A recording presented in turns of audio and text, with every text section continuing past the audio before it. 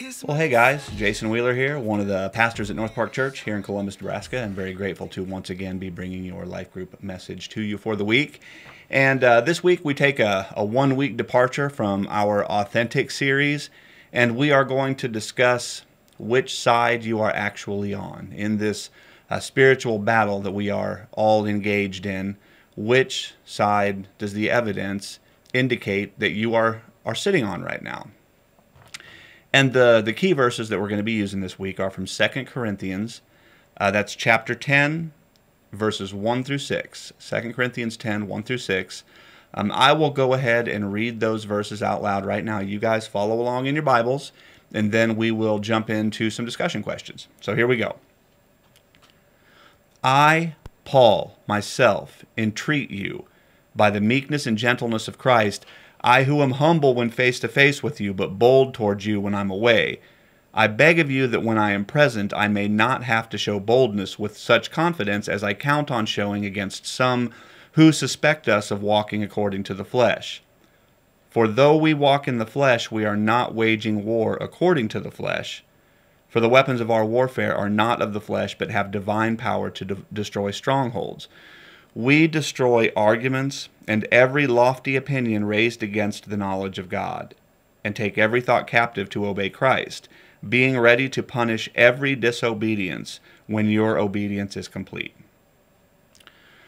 Okay, so remember what's going on here. We discussed this in the message on Sunday is that um, Paul has gotten word from um, uh, Titus that there is a group of people, a section of the church in Corinth that is saying some harsh stuff about him. They're saying that, yeah, Paul is super bold in his letters, but when he's face to face with you, he's he's gentle and he's weak. That's basically what's going on. So this is Paul's response to that.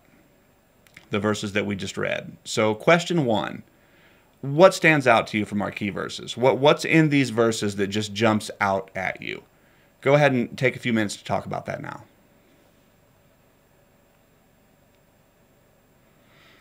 Okay, so for, for question two here, uh, you, you, see Paul in these verses. You've got the people that um, Paul is, is writing to in these verses. Uh, you've got the people that Paul is writing about in these verses. Who do you relate to most from today's verses and why? Go ahead and pray about that and talk about it now.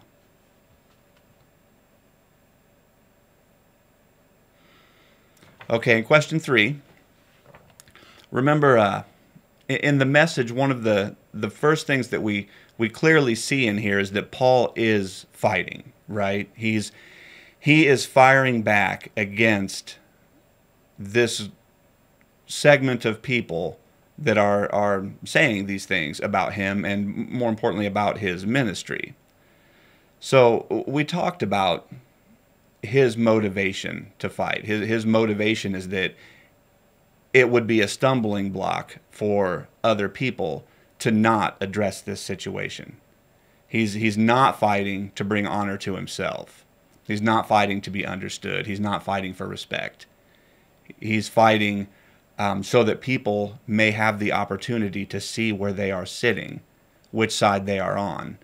Ultimately, he's, he's fighting for the opportunity for people to be saved. So, for question three, what motivates you to fight? And what are your tactics? Maybe discuss uh, fights that you're thinking about engaging in now or that you have engaged in recently, and be willing to be honest about this and discuss why you have fought those fights or why you're thinking about fighting those fights and then the methods or tactics that you use to to to try and win your fight. Go ahead and talk about that now. Okay, and so for question four, as we discussed in the message, as we see in these verses, uh, as I talked about a couple minutes ago, can you name an example of a righteous fight from your life? There are righteous fights. There are reasons to engage. There are righteous mo- motivations and, and righteous methods. So, can you name an example of a righteous fight from your life? Go ahead and talk about that now.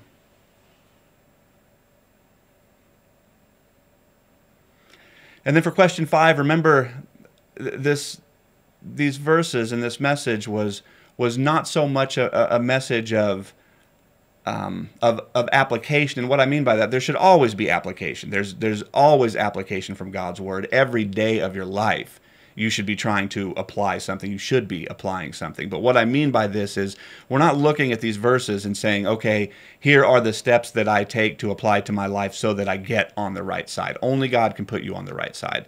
What we are trying to get a picture of here is the evidence of a person that's on God's side as opposed to evidence of a person that's on the other side.